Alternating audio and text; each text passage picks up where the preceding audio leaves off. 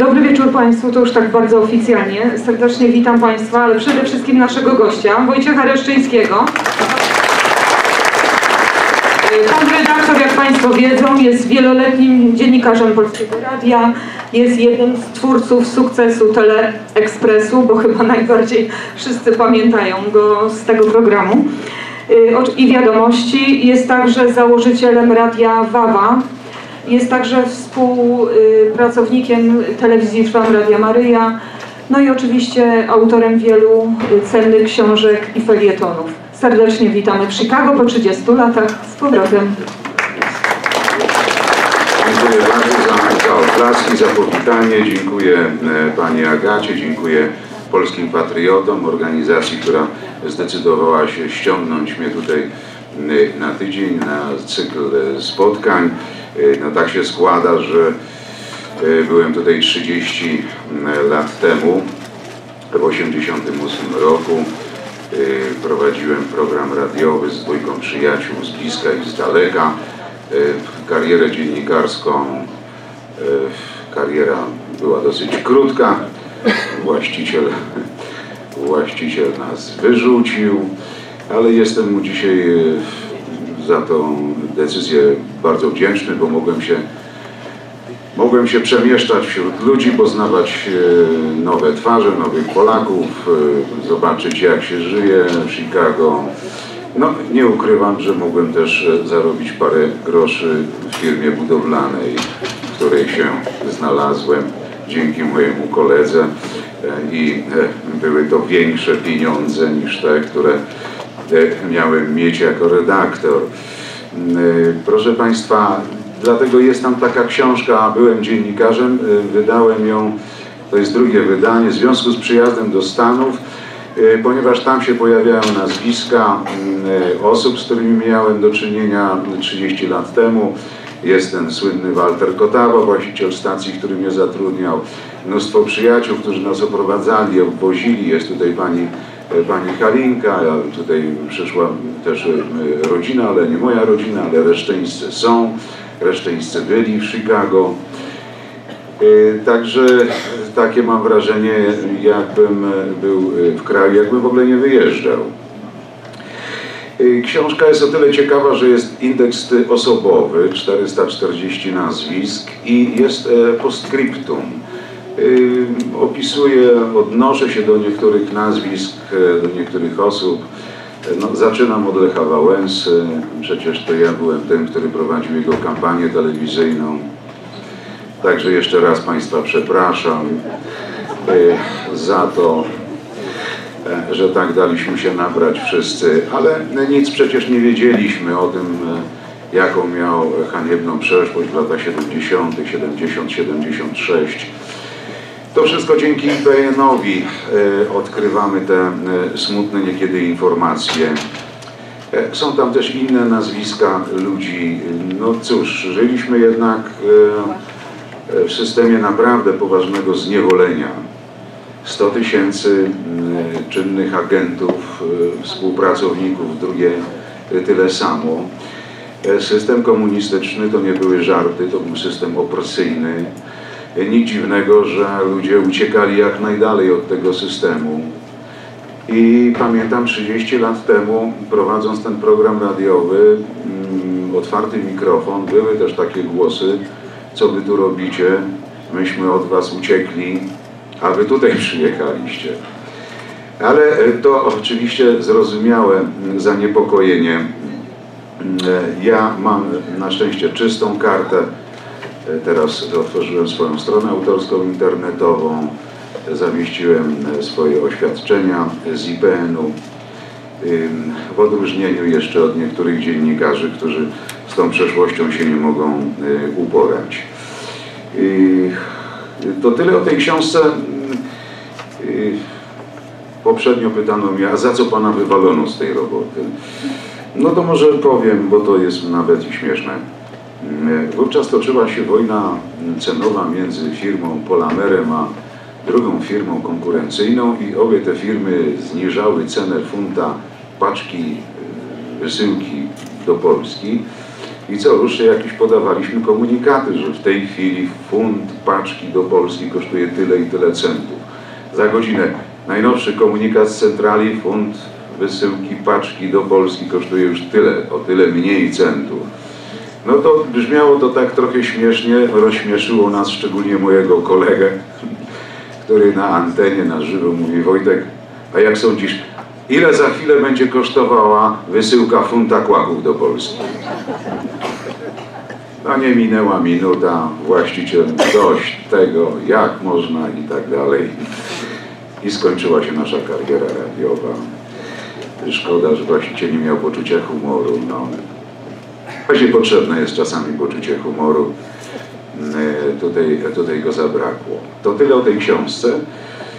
E, są tam już ostatnie egzemplarze książki e, Feliksa Konecznego, którym się zajmuję od 10 lat. Popularyzowaniem jego, jego myśli, jego rozważań.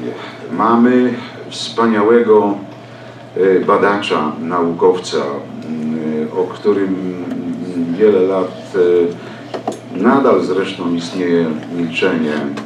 Zmarł w 1949 roku. W kompletnym zapomnieniu. To profesor Uniwersytetu Jagiellońskiego, potem Uniwersytetu Wileńskiego imienia Stefana Batorego. Badacz dziejów historii Rosji, innych państw. Pracował też w Archiwum Watykańskim, gdzie poznał mnóstwo ciekawych dokumentów człowiek y, chrześcijanin, y, katolik, nie miał szans, by jego prace pojawiły się w PRL-u. Wtedy właśnie zaczynał się już ten okry, ostry okres komunizmu. Zmarł w zapomnieniu, w olbrzymiej biedzie. Jeszcze wychowywał dwóch wnuków, ponieważ jednego syna stracił i synową w Powstaniu Warszawskim, a drugi syn został zamordowany przez Niemców. Także tylko wąskie grono przyjaciół jakoś go wspomagało. Nie było dla niego miejsca nawet do pracy w bibliotece Uniwersytetu Jagiellońskiego. A bo to przedwojenny profesor, katolik, e, wielki admirator cywilizacji łacińsko-chrześcijańskiej i taki był jego los. E, odświeżam tę postać, popularyzuję ją ponieważ jest to pokolenie moich dziadków. Ja też nie miałem okazji poznać dziadków. Jeden zmarł grubo przed moim urodzeniem, drugiego wykończyli Niemcy w więzieniu. W tej książce zainspirowany Koneczny nawet e, podaje ten wyrok sądowy niemiecki. Został skazany na 4 miesiące e, ciężkiego więzienia za podanie rosyjskiemu jeńcowi wojennemu jednego papierosa. Tak brzmi ten wyraz. Eine Zigarettes. A ponieważ dziadek prowadził sklep kolonialny i miał przechowane pod e, gdzieś tam w schowkach e, tytoń, a, i moja mama, jej siostra e, robili te różne takie kręcone papierosy i dorabiali w ten sposób. Sprzedając, dziadek się zlitował, rzucił jeńcowi rosyjskiemu papierosa, zadenuncjował go inny Niemiec i zawiadomiono rodzinę, że może właściwie już odebrać zwłoki, bo tydzień po wyjściu, wyprowadzeniu go z tego więzienia zmarł. I to jest to pokolenie tych naszych dziadków, którzy żyli w niewoli, e, którzy w czasie e, wolnej Polski w 1918 roku bardzo się Polsce zasłużyli. E, zostawili dużo pięknego świadectwa polskości. To byli wybitni ludzie, którzy też odgrywali wielką rolę pracując u zaborców w różnej formie. No, historia II Rzeczpospolitej jest tego najlepszym przykładem. A taką perełką, jeśli chodzi o naukowców, historyków, jest Felix Koneczny, zmarły w 1949 roku, pochowany jest na cmentarzu salwatorskim w Krakowie. Nawet miejscowi ludzie nie wiedzą, że on tam spoczywa i leży, także zrobiłem zdjęcie jego grobu. Zrobiłem zdjęcie jego domu, w którym mieszkał, z którego wyrzucili go Niemcy, a potem wyrzucili go komuniści. E, postać niezwykle heroiczna, piękna, a poza tym zostawił nam olbrzymie dzieło e, w postaci nauki o cywilizacjach. I o tym Państwu chciałbym trochę opowiedzieć. E, może tak niecałą godzinkę, a potem bardzo proszę porozmawiamy o trudnych współczesnych problemach, ponieważ jestem autorem felietonów w Polskim Radiu co tydzień, felietonów w tygodniku sieci. Też co tydzień prowadzę własną autorską audycję w programie trzecim Polskiego Radia pod tytułem Trójka na poważnie. Udzielam się społecznie, udzielam wywiadów. E, rzecz jasna, Radio Maryja, mm, byłem na samych początków tworzenia tego radia z ojcem Tadeuszem. Organizowałem spotkania z przyszłymi pracownikami, tłumaczyłem, co to jest radio. E, no, potem się nasze drogi rozeszły, bo budowałem własne radio, ojciec Tadeusz swoje, ale potem znowu wróciłem 14 lat, e, jestem wykładowcą na szkole, Wyższej Szkole Kultury Społecznej i Medialnej, której ojciec Tadeusz założył, także uczę tych gamonii. No proszę Państwa, z wielu jestem już dumny. Wchodzą do zawodu dziennikarskiego, wyuczeni, wykształceni. Już te pokolenia ostatnie bez kompleksów, że wychodzą z tej strony, bo wiecie przecież jaka była kampania nienawiści w stosunku do ojca Tadeusza. Ci młodzi ludzie bali się przyznawać, że studiują w tej szkole. Dzisiaj jest zupełnie inaczej, bo takie warunki, jakie oni mają w tej szkole, no to ja bym chciał, żeby wszyscy mieli. I tutaj są jeszcze śladowe książki Feliksa Konecznego, do których e, napisałem wstęp, przedmowę. Są takie trzy książki, do których napisałem przedmowę. W każdej tej przedmowie zaznaczam, że to jest dla mnie wielki zaszczyt, niespodziewany zaszczyt, żebym pisał przedmowę do tak wielkiego naukowca i profesora. No i jestem w trakcie kręcenia filmu o Feliksie Konecznym. Jestem już po rozmowach z prezesem telewizji. Mam nadzieję, że się nie wycofam. 55-minutowy film poświęcony Feliksowi Konecznemu. Naukowcowi, który odpowiada nam na współczesne pytania. On daje nam genialne, proste, oczywiste recepty, by pojąć, zrozumieć ten skomplikowany świat. I spróbuję Państwa zachęcić do mm, poszukiwania książek Feliksa Konecznego, e, opowiadając e, do jakich on doszedł wniosków, jakich konkluzji. Otóż, proszę Państwa, cywilizacja. To może ja usiądę, co? Bo będę musiał czytać. Dziękuję. E, otóż cywilizacja. cywilizacja, według Feliksa Konecznego, cywilizacja to jest metoda ustroju życia zbiorowego metoda, czyli jakiś sposób, mechanizm, jakiś ład społeczny, według którego funkcjonuje życie zbiorowe. To jest cywilizacja. Tak zdefiniował Felix y, Koneczny. Y, to słowo, proszę Państwa, jest niezwykle ciekawe. Zabrałem tutaj zabrałem tutaj skserowaną y, książkę Adama Mickiewicza, z 1832 roku. Y, księgi Narodu Polskiego i Księgi, Księgi Pielgrzymstwa Polskiego. Polski wtedy nie było.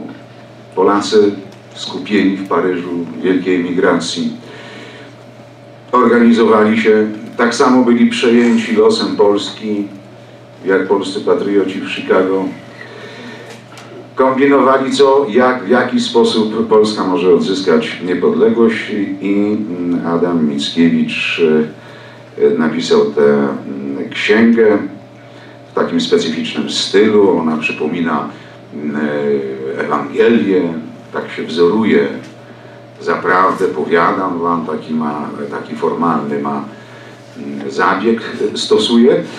Ale co e, Mickiewicz, co Mickiewicz mówi o, o cywilizacji? E, nieraz mówią wam, że jesteście wśród narodów ucywilizowanych i macie od nich uczyć się cywilizacji. Ale wiedzcie, że ci, którzy wam mówią o cywilizacji, sami nie rozumieją, co mówią. Wyraz cywilizacja znaczył obywatelstwo od słowa łacińskiego civis, czyli obywatel.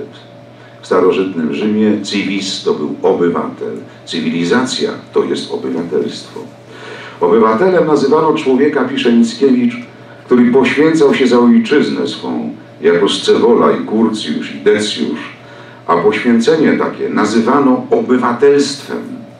Była to cnota pogańska, mniej doskonała niż cnota chrześcijańska, która każe poświęcać się nie tylko za ojczyznę swą, ale za wszystkich ludzi, wszakże była cnotą.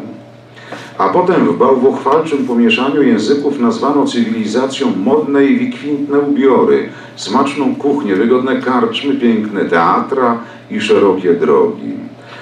Toć nie tylko chrześcijanin, ale poganin rzymski, gdyby powstał z grobu i obaczył ludzi, których teraz nazywają cywilizowanymi, wtedy obruszyłby się gniewem i zapytałby, jakim prawem nazywają siebie tytułem, który pochodzi od słowa civis, obywatel. Nie dziwujcie się więc tak bardzo narodom, które w dobrym bycie tyją albo gospodarne i rządne są. I tak dalej. Proszę Państwa, cywilizacja, no tak w powszechnym ujęciu jest cywilizacja, to drogi, to dzisiaj, prawda, komputery, telewizja satelitarna, łączność e, cyfrowa i tak dalej. Cywilizacja. Dobrze wiedzieć, że cywilizacja pochodzi od słowa civis, czyli obywatel. I to jest bardzo ważna cecha w tym, jak ujmował cywilizację również Felix Koneczny. Bo świadczy o podmiotowości e, człowieka.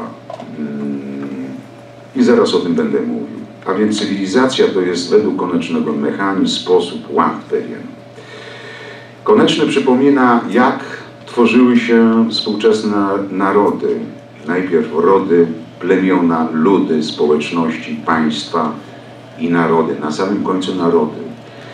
Dla Feliksa Konecznego naród to już jest taki szczyt rozwoju społeczeństwa, które się wytworzyło w długim procesie ewolucyjnym.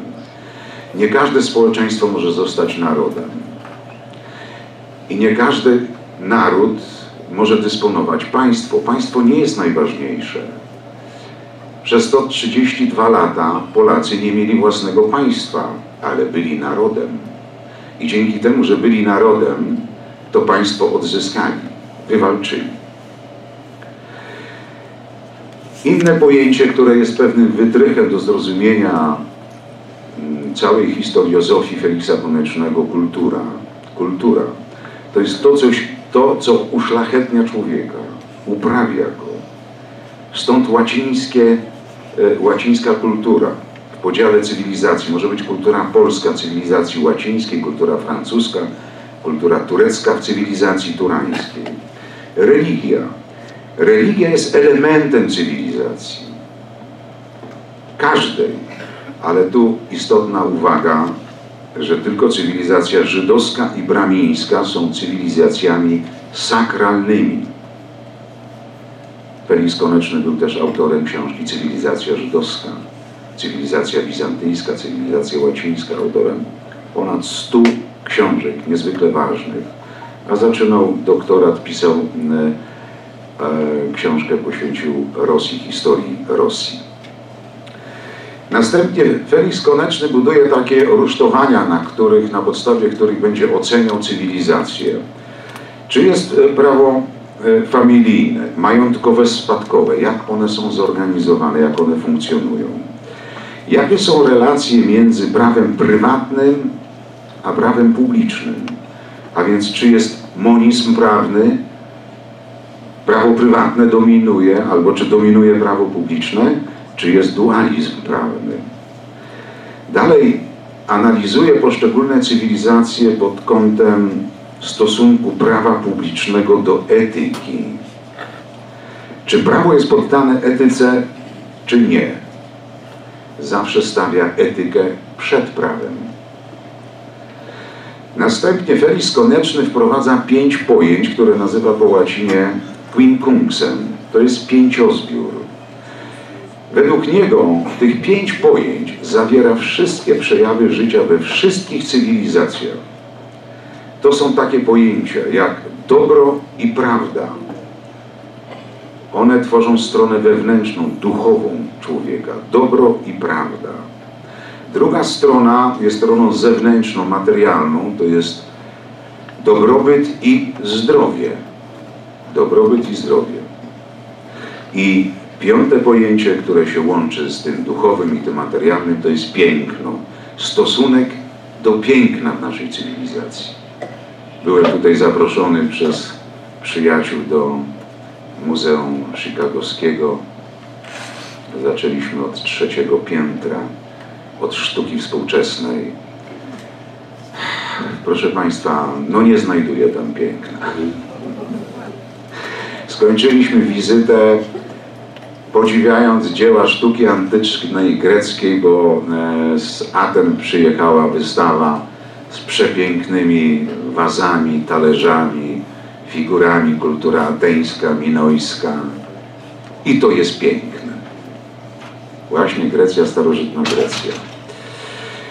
Proszę Państwa, a więc tych pięć pojęć. Cały czas Felix Koneczny ma na uwadze tych pięć pojęć i na podstawie tych pojęć e, tworzy, ocenia poszczególne cywilizacje.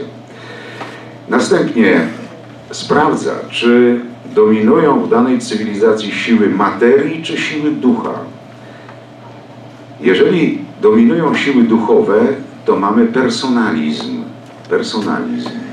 Persona. Persona. Osoba. Jeżeli dominuje, dominują siły materii, to mamy gromadność.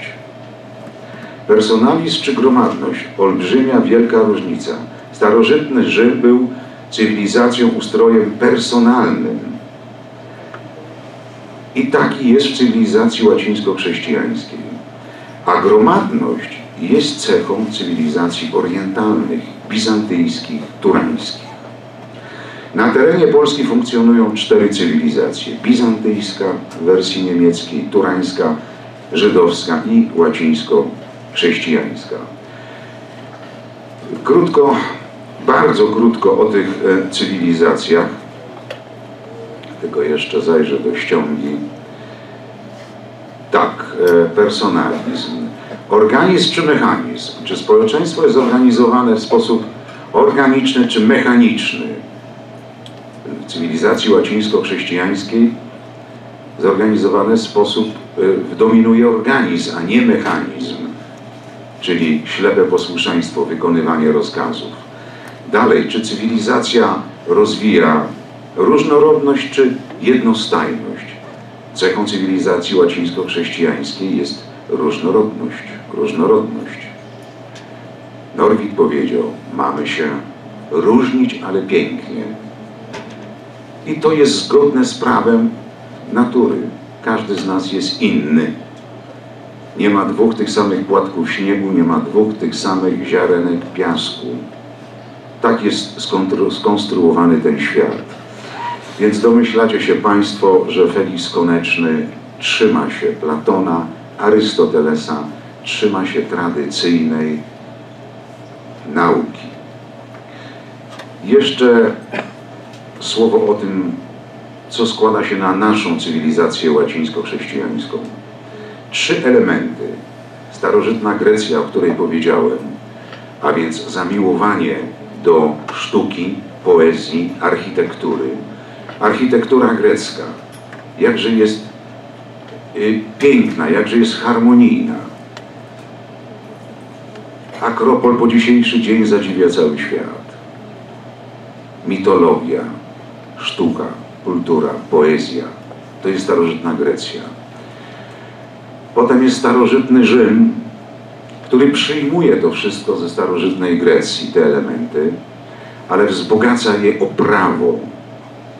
Prawo rzymskie nadal jest wykładane na wszystkich uniwersytetach, wydziałach prawa, a prawo cywilne w obecnej jego postaci to jest 90% prawa rzymskiego dawnego.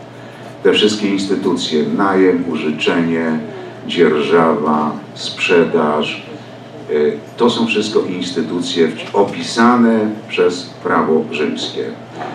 No i pojawia się trzeci element, czyli chrześcijaństwo. W 330 roku Cesarstwo Rzymskie przyjmuje chrześcijaństwo jako religię państwową. Wcześniej prześladuje chrześcijan, bo kultywuje swoich bogów. A od cesarza Konstantyna Chrześcijaństwo jest religią panującą i dominującą. Chrześcijaństwo, które wprowadza postać Chrystusa jako człowieka i Boga. Ostatnio dostałem taki SMS ciekawej treści. Tylu ludzi chciało być bogami, ale tylko jeden Bóg postanowił zostać człowiekiem. Proste i piękne zarazem. Pojawia się Kościół katolicki, który jest również dziełem boskim. Pojawiają się księża, którzy oczywiście są tylko ludźmi, ale są posłańcami. Rozwija się nauka. Najstarszy uniwersytet włoski La Sapienza powstał dzięki Kościołowi, dzięki chrześcijaństwu. Ten sam uniwersytet, który nie wpuścił do siebie papieża Benedykta XVI, bo opanowany jest przez lewaków. Wystąpili z protestem, że obecność papieża będzie zakłócała autonomię uczelni, proszę sobie wyobrazić. Naukowcy i studenci zaprotestowali i Benedykt XVI się nie pojawił. Wysłał tylko pismo, mam treść tego pisma. Benedykt XVI przypomina im, co wniosło chrześcijaństwo do rozwoju całej cywilizacji łacińskiej.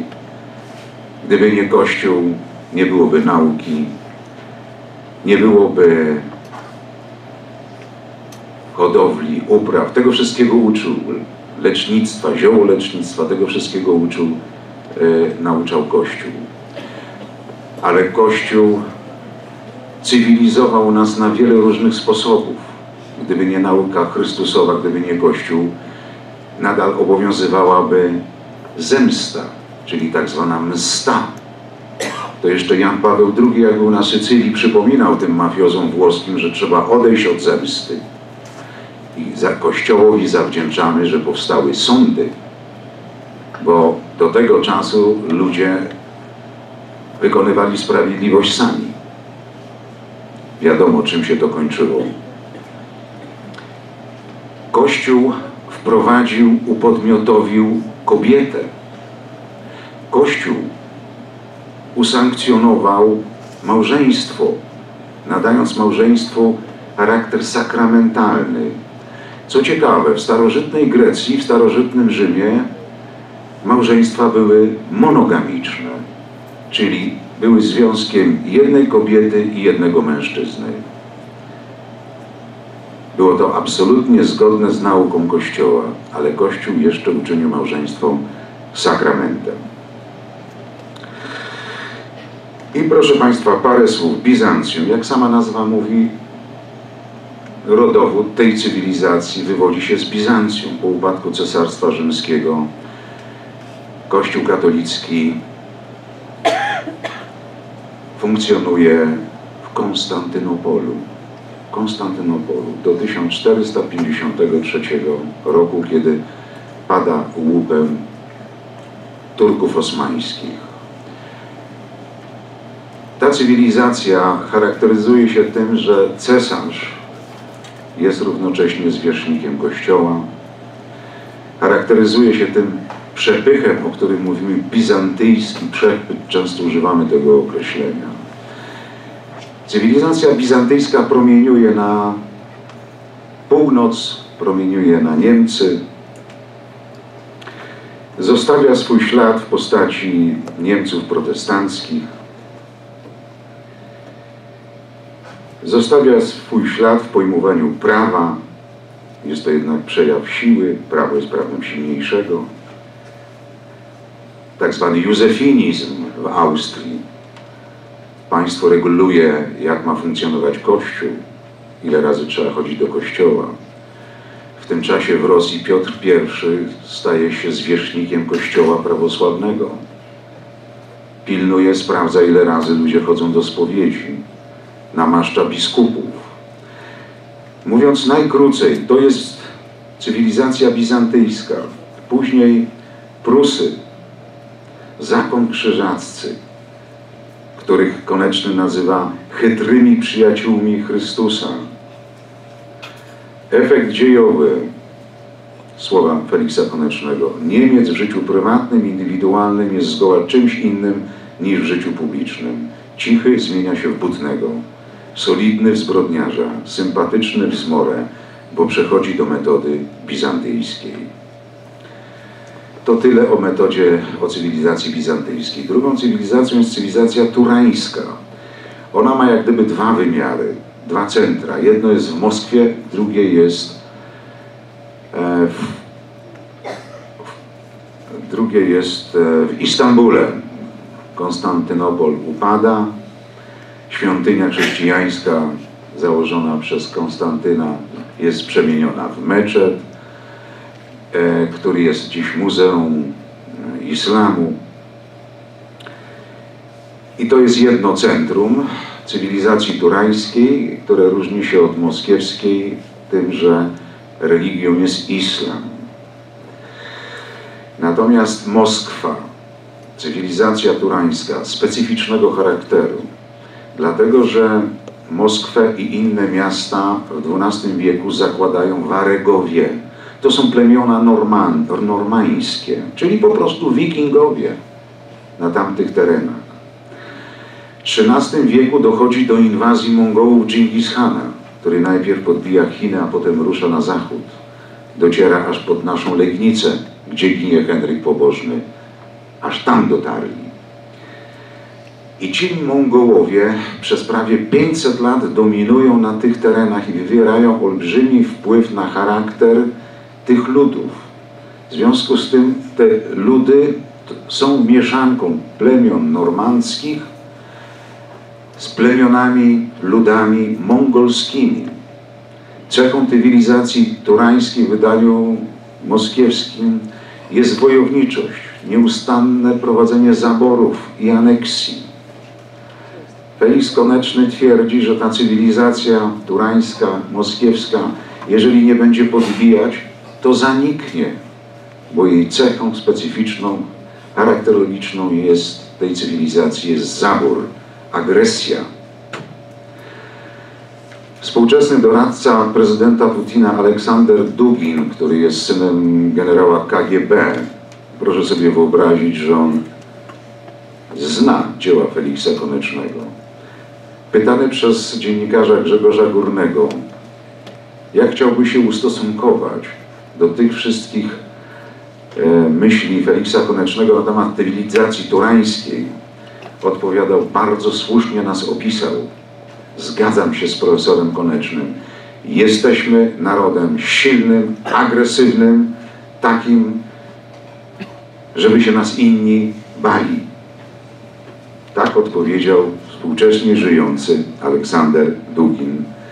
I cecha tej cywilizacji, proszę Państwa, jest jak najbardziej e, prawidłowo opisana.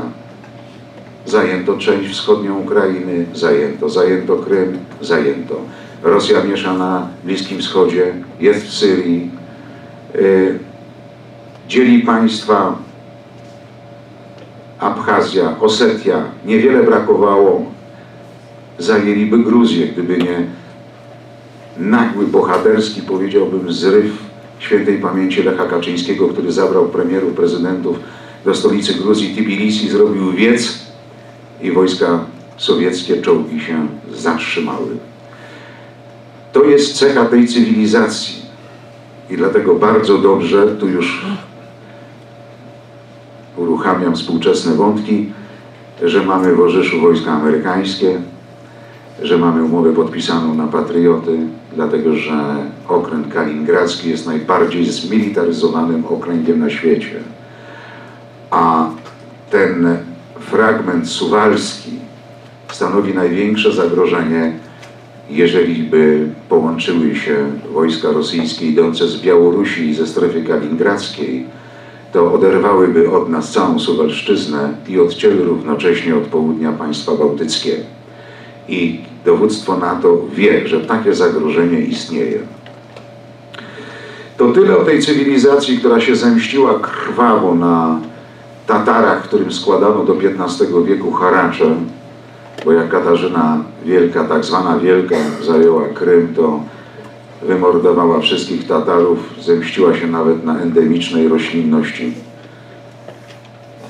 Teraz była powtórka za Putina, ponowne zajęcie Krymu siedziby Tatarów. Tam w Bakczysaraju siedzieli Hanowie, którym przez 500 lat książę Moskwy, książę Nowogrodu składał haracz i hołd.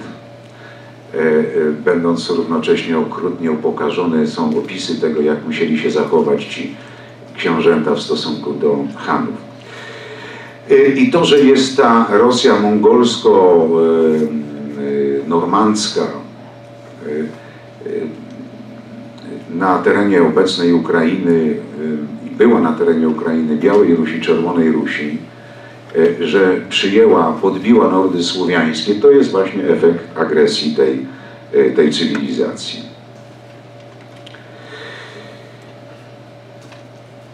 Jakie są jej e, cechy? Mm, cerkiew podporządkowana państwu. Przez ostatnie 70 lat patriarcha Moskwy Wszechrusi zwykle miał drugi etat w KGB i obecny Cyryl E, też jest Gubajew e, agentem KGB. A więc proszę Państwa, co to jest za kościół, który jest podporządkowany państwu? To jest ta zasada właśnie cuius regio eius religio. Źródłem prawa jest głowa państwa. Putin jest źródłem prawa. No chyba nikt nie wierzy w to, że społeczeństwo ma wpływ na prawo. Że tamtejsza rada co, o czymkolwiek decyduje. Źródłem siły jest siła wojskowa. Źródłem zamożności łupy wojenne. No i teraz, proszę Państwa, cywilizacja, cywilizacja żydowska. Mówimy o tej cywilizacji żydowskiej, która zbudowała się w II wieku po Chrystusie w odpowiedzi na obecność Chrystusa i szerzący się Jego kult w basenie Morza Śródziemnego. To jest cywilizacja sakralna. Tora zawiera prawo familijne, majątkowe, ustrój społeczny, stosunki międzynarodowe. Prawo. Źródłem prawa jest Talmud, interpretacja w rękach rabinów. Każdy rabin ma wolną rękę interpretacji. Moralne jest wszystko to, co jest prawem. Etyka połowiczna nie jest jednakowa. Inna jest dla swoich, inna w stosunku do obcych. I to obowiązuje po dzień dzisiejszy. Bliźnim jest tylko współwyznawca. Inne ludy, inne ludy to goje. Zasada solidarności w tej cywilizacji między ludźmi w obliczu śmierci, e, ta zasada, która obowiązuje w obliczu śmierci, nie obowiązuje wśród Żydów. Tu, jeśli będzie pani doktor Ewa Kurek, to Państwu wytłumaczy. Jeżeli w, w cywilizacji żydowskiej e, Żyd e, będzie miał problem e, utraty życia, może się ochronić, obronić, poświęcając inne żydowskie życie. I w czasie okupacji, w czasie getta warszawskiego takie przypadki były. Ojciec donosił na dzieci, dzieci na rodziców, żeby ratować swoje życie i według tej cywilizacji ich postępowanie jest usprawiedliwione. Jeżeli w naszej cywilizacji obowiązkiem jest ochrona ludzi chorych, słabych i dzieci, to w takiej samej sytuacji w cywilizacji żydowskiej nie ma takiego imperatywu. O tym musimy pamiętać. Mają zupełnie inne pojmowanie. Nikt nie został ukarany y, z gestapowców, którzy tworzyli z y, Niemcami gestapo y, w, w getcie warszawskim. Nikt nie został ukarany ze 150 tysięcy Żydów służących w Wehrmachcie. Nikt nie został ukarany z tych, którzy denuncjowali innych swoich współbraci, dlatego że mieli prawo, chroniąc swoje życie, poświęcić inne żydowskie, życie żydowskie. Jakże inna jest nasza cywilizacja i tu tą postacią jest ojciec Maksymilian Kolbe w Auschwitz, który stoi obok Franciszka Gajowniczka, a ten wskazany na śmierć w komorze głodowej zaczyna płakać, moja żona, moje dzieci, ojciec Maksymilian Kolbe występuje z szeregu, za to już mógłby zostać zabity i prosi tego oficera po niemiecku, żeby wziął jego do bunkra kłodowego, bo w naszej religii najwyższym przywilejem, najpiękniejszą cechą w cywilizacji chrześcijańskiej jest oddać życie za przyjaciół swoich. Oddać życie za przyjaciół swoich. jakże różne są to cywilizacje. Musimy zawsze o tym pamiętać, bo moim zdaniem nie jest możliwe porozumienie. Może, możemy tylko doprowadzić do systemu szacunku, do szacunku, ale porozumienia między chrześcijanami a Żydami nie będzie, bo na drodze stoi Chrystus, osoba Chrystusa. To może teraz o naszej cywilizacji. Mm, a więc tak jak powiedziałem, powstała po upadku Grecji Rzymu. Dziedzictwo Grecji i Rzymu przejął Kościół katolicki z uniwersalną etyką. Źródłem prawa jest społeczeństwo, to jest rzymska zasada, a więc civis obywatel. Władza królewska ingeruje tylko między konfliktującymi się stanami. Etyka katolicka uznana za jest jedyną i własną i pozostaje w ścisłym związku z prawem. Normy prawne i etyczne. Etyka naturalna, starsza od katolickiej, oparta o porządek nadprzyrodzony. Religia, nasza religia, najbardziej filozoficzna. Katolicyzm jako nauka o najwyższym stopniu zaangażowania. Bez nauki chrześcijaństwo kuleje. Toż przecież fides et ratio encyklika Jana Pawła II. Nie ma wiary bez rozumu. Nauka ma wpływ na, na naszą wiarę i wiara inspiruje nas w poszukiwaniu odpowiedzi na pytania dotyczące nauki. wiara i rozum, fides et ratio. Rozdzielone prawo publiczne od prawa prywatnego to jest cecha naszej cywilizacji. Nigdy nie ma przerostu etyki, tylko może być przerost prawa. Życie za bliźniego. W chrześcijaństwie Jezus ogłasza prawo miłości łagodności. Katolicyzm nie narzuca nikomu swojej cywilizacji uznaje istniejące rodzime cywilizacje. Kościół przystosowuje jedynie istniejące cywilizacje do siebie. Małżeństwo, monogamia, jak mówiłem, odziedziczyliśmy po Grekach i Rzymianach. Kościół wprowadza własność osobistą, już nie rodową. Zakaz niewolnictwa to jest zasługa Kościoła, naszej cywilizacji dlatego że kto nie pracuje, mówił święty Paweł, ten nie je. Jeżeli niewolnik pracował, to był podmiotem, a nie przedmiotem. Zakaz zemsty. No i cecha charakterystyczna, niezawisłość y, Kościoła od władzy świeckiej.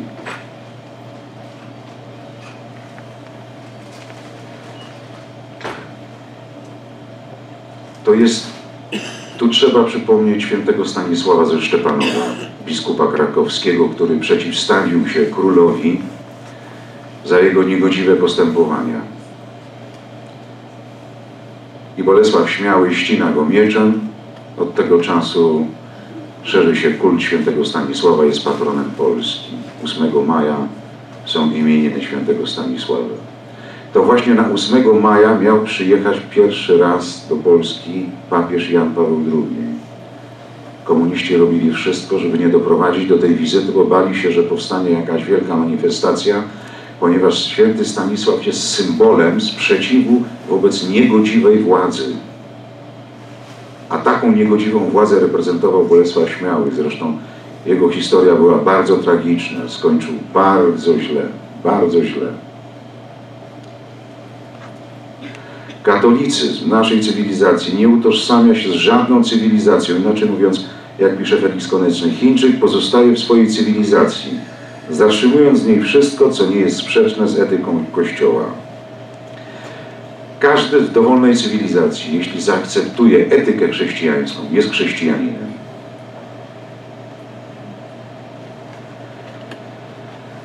Jesteśmy organizmem, to społeczeństwo organizuje od najmniejszego szczebla życie. Takim dobrym przykładem było rodzinne moje miasto rodzinne miasto moich rodziców. 5 tysięcy mieszkańców. Kilka orkiestr, e, trzy teatry, mm, e, kordy tenisowe, drużyny harcerskie, sodalicja mariańska, związki kupieckie, mieszczańskie. Wszyscy byli jakoś zorganizowani. Każdy w czymś się udzielał. Każdy wykazywał swoją aktywność. To jest właśnie silne społeczeństwo. Lubawa. Lubawa. 5 tysięcy mieszkańców. Lubawa niedaleko Nowe Miasto Lubańskie, Lubawskie e, na pograniczy, pograniczu Warmii. Na pograniczu Warmii. Tak. I teraz proszę Państwa e, konkluzja tej części. E, Felix Koneczny w wieku 86 lat, kiedy już tak, zna historię Rosji, zna historię Niemiec, zna historię, a jeszcze tutaj nie opisałem cywilizacji arabskiej. No właśnie. To może krótko o cywilizacji arabskiej, proszę Państwa, bo to jest w tej chwili największe zagrożenie Europy. Ponieważ my nie mieliśmy z nią do czynienia. Mieliśmy do czynienia z islamem w wydaniu cywilizacji turańskiej, czyli tym, który jest w Turcji obecnie. No i mieliśmy swoich Tatarów, których przyjmowaliśmy w XV wieku, którzy byli wyrzucani, bo weszli w konflikt z miejscowym, e, miejscowym hanem, y, no i musieli uciekać przed prześladowaniami. 50-70 tysięcy osiedliło się na Litwie i w Polsce mamy swoich Tatarów, okazali się wiernymi Rzeczpospolitej, służyli w wojskach. Świetnie to Henryk Sienkiewicz pokazał w filmach, w książkach. Mieliśmy swoich Tatarów, a w II Rzeczypospolitej w Wilnie osobny był dywizjon tatarski pod dowództwem Tatarów. Natomiast teraz, proszę Państwa, po raz pierwszy do Europy wkracza cywilizacja islamska, arabska, której centrum jest w Arabii Saudyjskiej. I to jest, to jest islam, Koran, to jest sunna. Oni mają pięć obowiązków, modły, pięć razy dziennie, jałmużna, pielgrzymka do Mekki, posty. Cywilizacji arabskiej prymat prawa prywatnego, publiczne wyprowadzone jest z Koranu. Cecha cywilizacji silne państwa, biurokracja, słabe społeczeństwo, nieistniejące zupełnie. Monizm prawny, prawo. Godziwe jest to, co zapisane w Koranie lub sunnie. Dozwolone jest wszystko, czego nie zakazuje Koran. Koran absolutnie nie jest jednoznaczny. Raz stanowi nie zabijać, raz zaleca wręcz, żeby mordować, bo jest to miłe Bogu, Allahowi. Małżeństwo w islamie, proszę Państwa, poligamia. Marzeniem każdego e, islamisty, Araba jest mieć cztery żony. Szczerze mówiąc, musiałbym kiedyś się dowiedzieć, o co w tym wszystkim chodzi. Podobno, podobno jedna pierze, druga gotuje, trzecia wychowuje dzieci. E, co z czwartą robi, nie wiem. To jest jego marzenie, ale proszę Państwa, dzięki temu on nic nie robi. On nic nie robi. Byłem bardzo zdziwiony tym, dlaczego y, pani kanclerz Merkel y, przyjmuje ludzi z tej cywilizacji. Miała Turków, którzy byli autorami sukcesu gospodarczego Niemiec. Dwa miliony Turków pracowało w pocie czoła na sukces y, gospodarki niemieckiej. Ale przecież wiadomo, że mężczyzna z cywilizacji arabskiej nie będzie pracował. O co tu chodzi? Potem powiem, o co tu chodzi. W każdym razie ta cywilizacja jest w tej chwili zagrożeniem. Poligamia, tak? No. U nas monogamia, tam poligamia. No i teraz mogę już przejść, proszę Państwa, do praw dziejowych Feliksa Konecznego. Otóż e, trzy takie główne e, prawa. Pierwsze stanowi, że każda z tych cywilizacji jest ich więcej niż cztery. Ja tylko wymieniłem te cztery, które funkcjonują w Europie. Turańska, bizantyjska, żydowska, łacińska, czyli zachodnia, y, no i arabska, która wkracza do Europy z południa, z Afryki, z Bliskiego Wschodu, z Azji. Pierwsze prawo stanowi, że każda z cywilizacji, jeżeli jest żywotna, dąży do ekspansji, do rozszerzenia swoich wpływów. I tu nie ma wątpliwości. Nasza cywilizacja również, proszę Państwa, też potrafi działać. W Chinach już niedługo podobno mamy 150 milionów chińskich chrześcijan.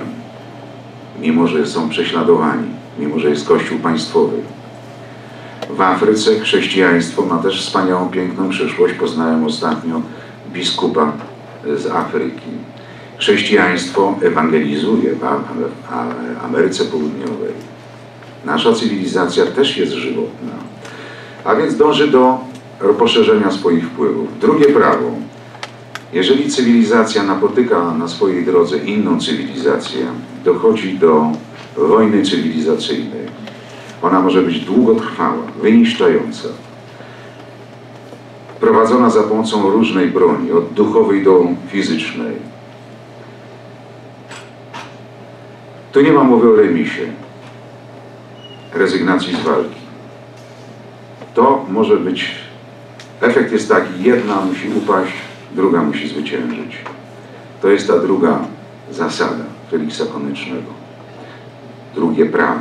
I trzecie prawo, którym nie chcą się liczyć współcześni włodarze Europy, że nie ma możliwości syntezy między cywilizacjami. Nie da się stworzyć tego, co się nazywa multikulti. I tu powracam znowu do e, przykładu multikulti niemieckiego i tego napływu cywilizacji aramskiej. Jak, jak możemy sobie wyobrazić syntezę, czyli coś wspólnego, jeżeli cywilizacji arabskiej jest poligamia, a w cywilizacji łacińsko-chrześcijańskiej monogamia? U nas można mieć jedną żonę, związek jednego mężczyzny z jedną kobietą, a tam związek jednego mężczyzny z wieloma kobietami. Jak może się wytworzyć z tego coś wspólnego? Jest to niemożliwe.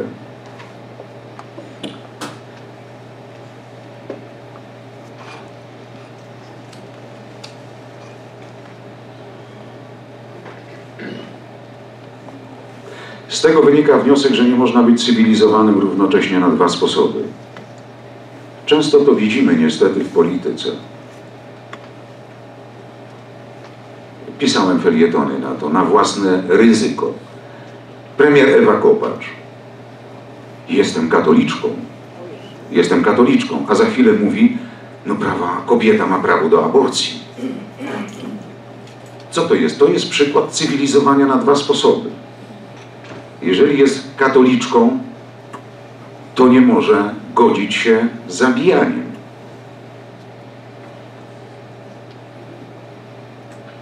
Proszę Państwa, z Komorowskim, też o tym pisałem.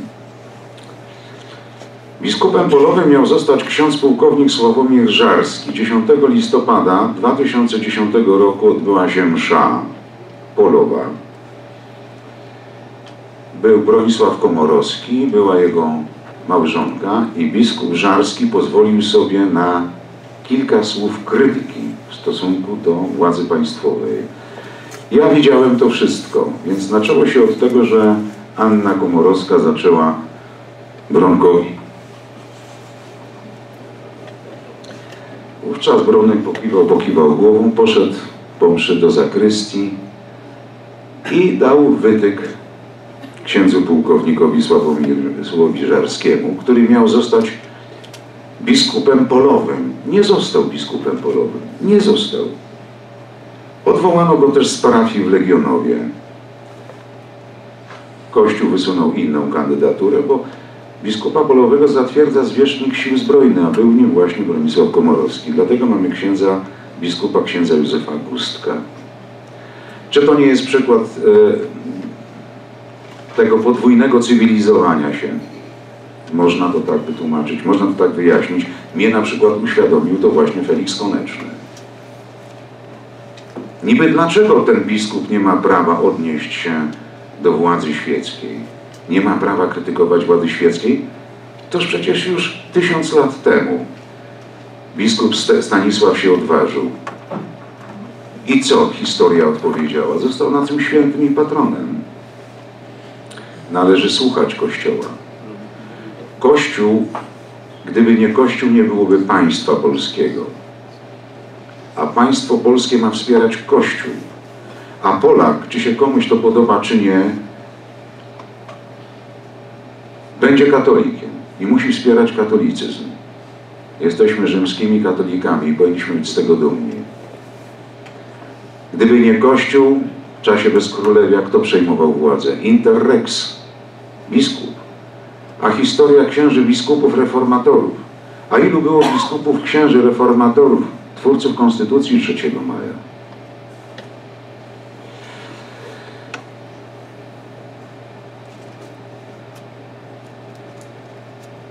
Ślub Tuska. No też tuż przed wyborami, po 30 latach przypomniał sobie, że nie ma ślubu kościelnego. No i teraz Felix Koneczny twierdzi tak. Jaka cywilizacja zwycięży? I tu Felix Koneczny przypomina nam Mikołaja Kopernika, który był kanonikiem, jak najbardziej osobą duchowną. No ale wiecie Państwo przecież, że był po prostu naukowcem. On właściwie był, on był nawet bardziej ekonomistą niż y, astrologiem. Jego traktaty o pieniądzu, niezwykle nowoczesne, to on udowodnił, że pieniądz słabego kruszca wyprze ten lepszy pieniądz. Pieniądz słaby wypiera pieniądz lepszy. I to samo jest z cywilizacją. Cywilizacja gorsza, prymitywniejsza wypchnie cywilizację y, lepszą. Wnioski. Kto w Polsce działa przeciwko Kościołowi przyczynia się do zniewolenia Polski? Polak musi trzymać się Kościoła, nie tylko w życiu prywatnym, ale i publicznym. Normy etyczne muszą dotyczyć także sfery publicznej.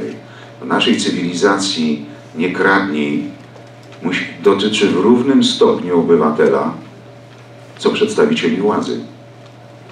To, co Państwo obserwujecie teraz, jak sędzia Sądu Najwyższego, wbrew wyrokom wcześniejszym, które pozbawiały sędziego uprawiania zawodu za to, że ukradł staruszce na stacji benzynowej 50 zł, odwołuje się do Sądu Najwyższego i sędzia Sądu Najwyższego stwierdza, że nie popełnił tego wykroczenia, bo był roztargniony.